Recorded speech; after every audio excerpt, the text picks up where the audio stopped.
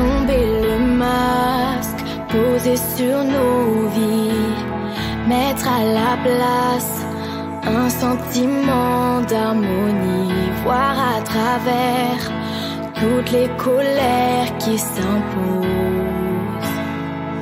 Le bon côté des choses, laissons briller nos lendemains. La chance est à portée de main.